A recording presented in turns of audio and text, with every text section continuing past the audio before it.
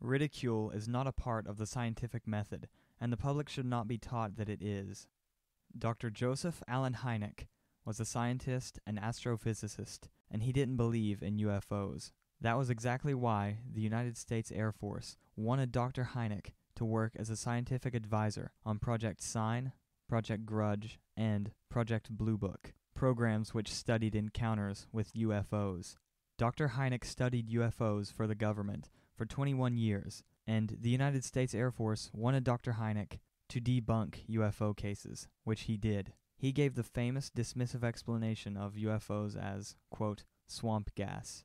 Dr. Hynek later regretted this work, trying to debunk and dismiss UFOs, as he realized that the UFO phenomenon is much more than swamp gas and is something that we do not yet understand. I was there at Blue Book, and I know the, the, the job they had. Uh, they were told not to excite the public. Uh, don't uh, rock the boat. Uh, and I saw it in my own eyes happen that whenever a case happened that they could explain, which is quite a few, they made point of that and, and uh, let that out to the media. Things that the, the cases that were very difficult to explain, they would jump handsprings to keep the, the media away from them. For their, they had a job to do, uh, to, whether rightfully or wrongly, to keep the public from getting excited. Hynek later founded CUFOS, Center for UFO Studies. This iceberg is based on Dr. J. Allen Hynek's system of classifying UFO sightings, the Close Encounters System. As we go deeper into the iceberg, the encounters will become more and more bizarre. Thank you for watching. At this level, misidentification is entirely possible, easily. This is also where the majority of UFO sightings fall. These distant encounters, usually nocturnal lights, could be planets, stars, satellites, meteors, or regular aircrafts or drones. In short, a distant encounter is any UFO seen at a distance greater than 500 feet. The Phoenix Lights. March 13th, 1997. There was a mass sighting of unidentified flying objects over Arizona, New Mexico, and Nevada. The craft was usually described as a V shaped object with multiple lights along its leading edge. The governor of Arizona at the time mocked the thousands of people who witnessed the object in a press conference shortly after. Years later, the governor would admit that he too saw the object. I'm serious now. That, that it was a it was a U, unquestionably it was a UFO, which means unidentified flying object. Right. Doesn't nothing, mean we're being visited. Well, it's nothing like anything I've ever seen. And, and you're an Air Force guy. Yeah, yeah, and a pilot. Uh, got a lot of hours flying, so uh, it was pretty breathtaking. He would state in another interview that he didn't come forward because he feared mass hysteria. There was a second event that night wherein nine lights hovered above Phoenix, Arizona. However, these lights are believed to just be flares dropped by the military. Under Dr. Hynek's classification, the Phoenix lights would be considered nocturnal lights, unexplained lights seen in the sky at over 500 feet away. The 2006 O'Hare Airport sighting at 4:15 p.m. on November 7, 2006, federal authorities at the Chicago O'Hare International Airport received 12 reports from employees who witnessed a disc shaped UFO or flying saucer hovering over gate C 17. Pilots, mechanics, and airline management reported seeing the object. Several independent witnesses outside of the airport also saw the object. One described a disc shaped craft hovering over the airport which was, quote, obviously not clouds. As far as I know, there are no verifiable photos of the object. According to the Chicago Tribune, quote, the disk was visible for approximately five minutes and was seen by close to a dozen United Airlines employees, ranging from pilots to supervisors, who heard chatter on the radio and raced out to view it. According to one witness, the object shot through the clouds at a high velocity, leaving a clear blue hole in the cloud layer. The hole reportedly seemed to close itself shortly afterward. Whether weather phenomena is used to explain this incident as the conditions were right for a hole punch cloud. The FAA and United Airlines denied any knowledge of the incident until the Chicago Tribune filed a Freedom of Information Act request. Documentation and air traffic communications from the incident have been released. The Calvine UFO photo. On August 4th, 1990, a strange, diamond shaped, unidentified flying object was spotted over Calvine, Scotland, by two hikers. The men managed to take six photos of the UFO. A military jet was also reportedly seen circling the craft. In total, the UFO hovered for about 10 minutes before ascending upwards at very high speeds. The photos taken by the hikers were given to the Scottish Daily Record, who then gave the photos to the Ministry of Defense. The Calvine UFO file won't be released until 2072, and there are no plans to declassify the photos. However, in 2022, one of the photos was leaked by ex RAF officer Craig Lindsay, who hid a copy of one of the photos decades ago. It matches up precisely with the photocopy and recreation based on eyewitness testimony that we already had.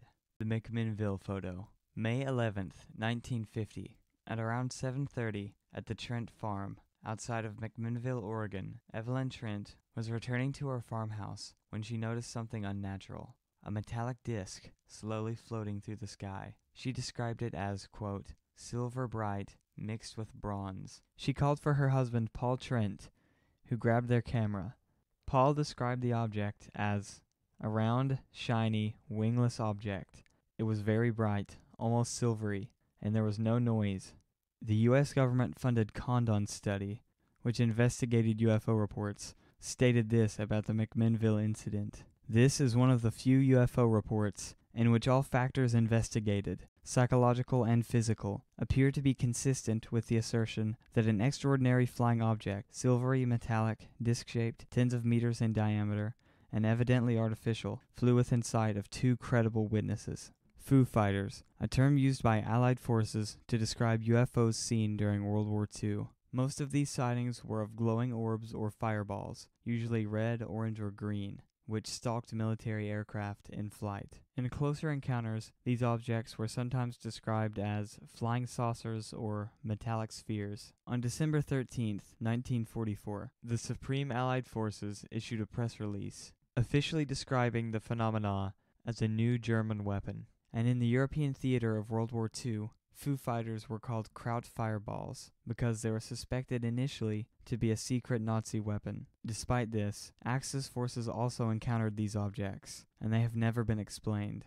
It is in close encounters that we come to grips with the misperception hypothesis of UFO reports. A distant encounter becomes a close encounter of the first kind when a UFO is seen at less than 500 feet away. 2004 Nimitz incident. The USS Nimitz strike group was off the coast of California. For two weeks, the USS Princeton detected multiple unidentified flying objects in the area.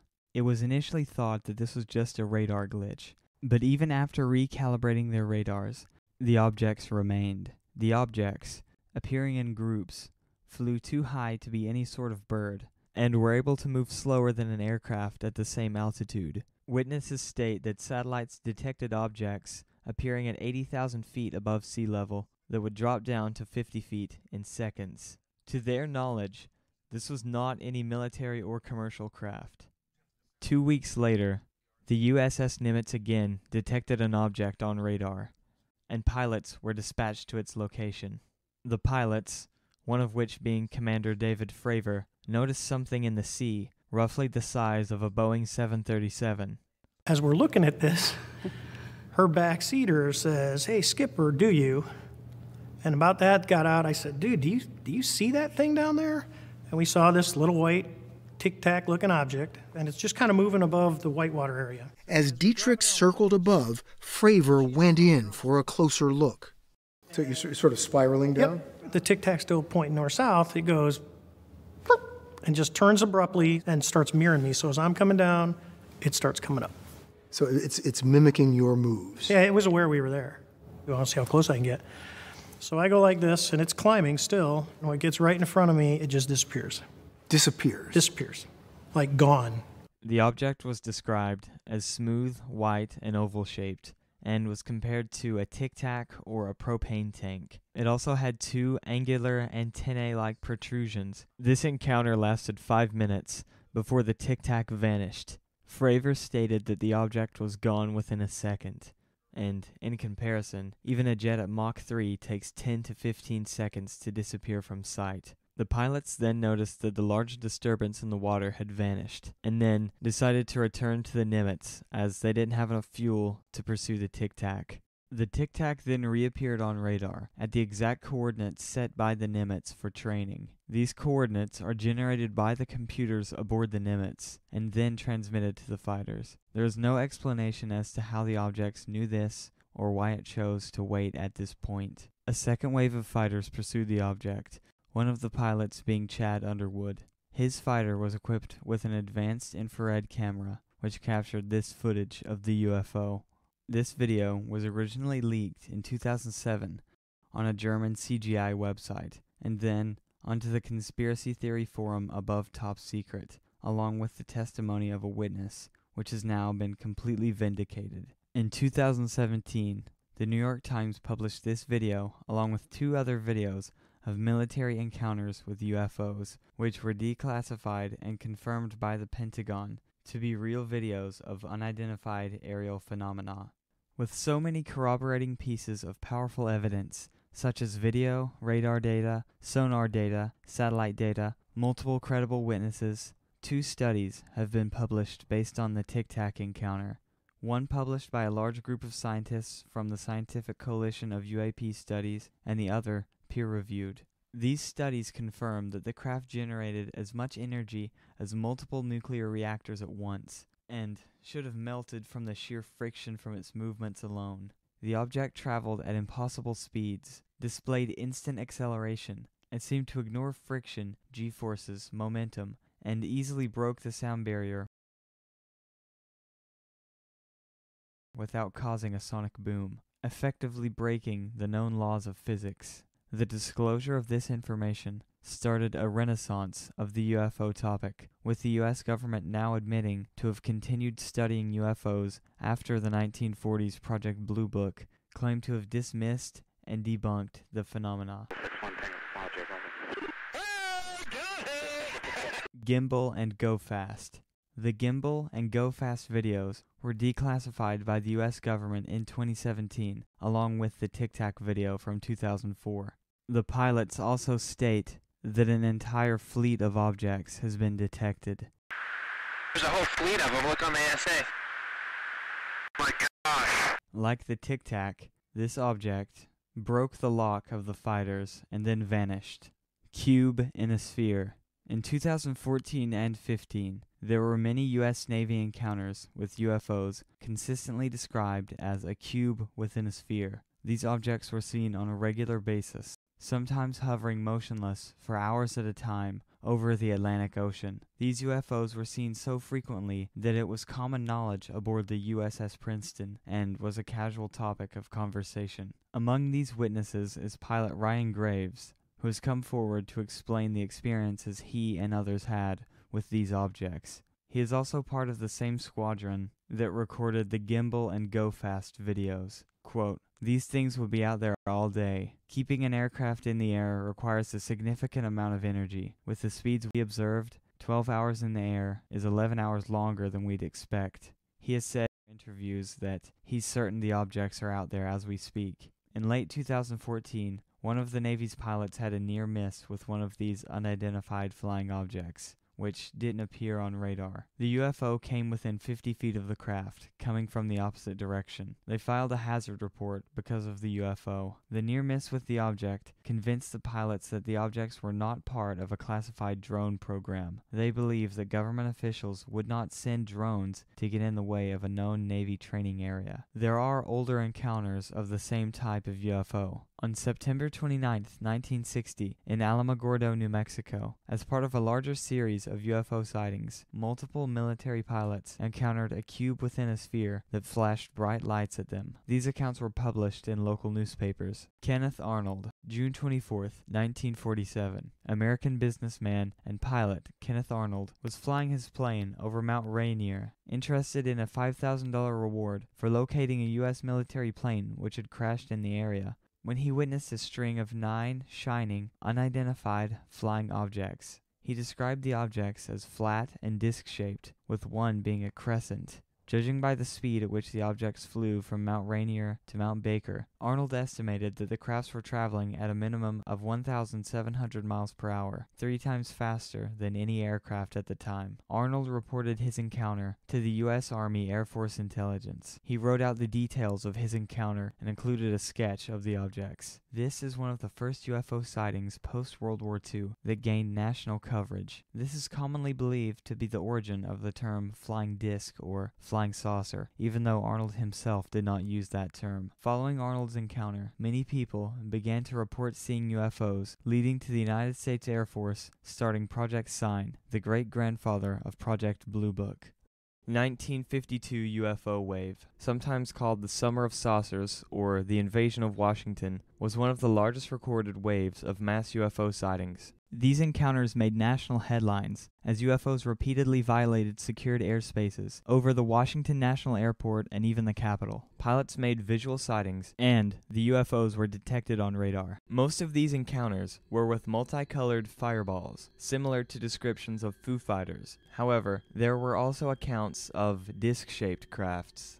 These sightings were so numerous that the United States Air Force was even given orders to chase these mysterious crafts and order them to land. If they refused, they were to shoot down the UFOs. The USAF scrambled pilots to chase these UFOs on several occasions, yet the strange glowing objects consistently outmaneuvered the military and proved to be much faster. The CIA Robertson panel sought to investigate these sightings, and their official explanation was that temperature inversions were giving false radar readings.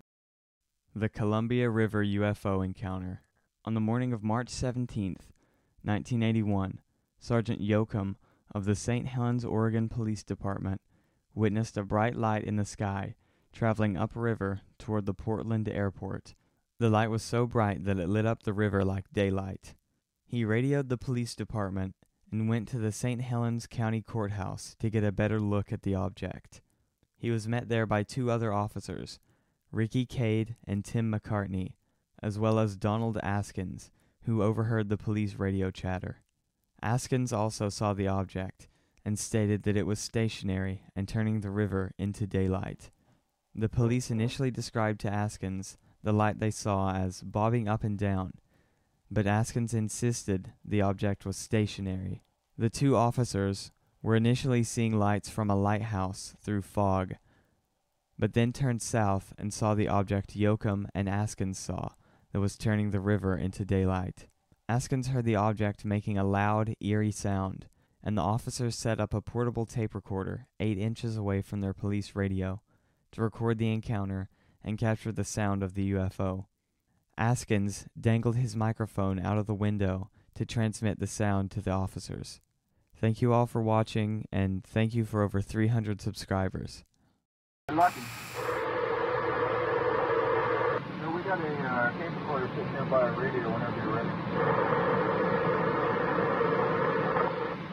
We'll keep running. If uh, up and we'll record a little bit.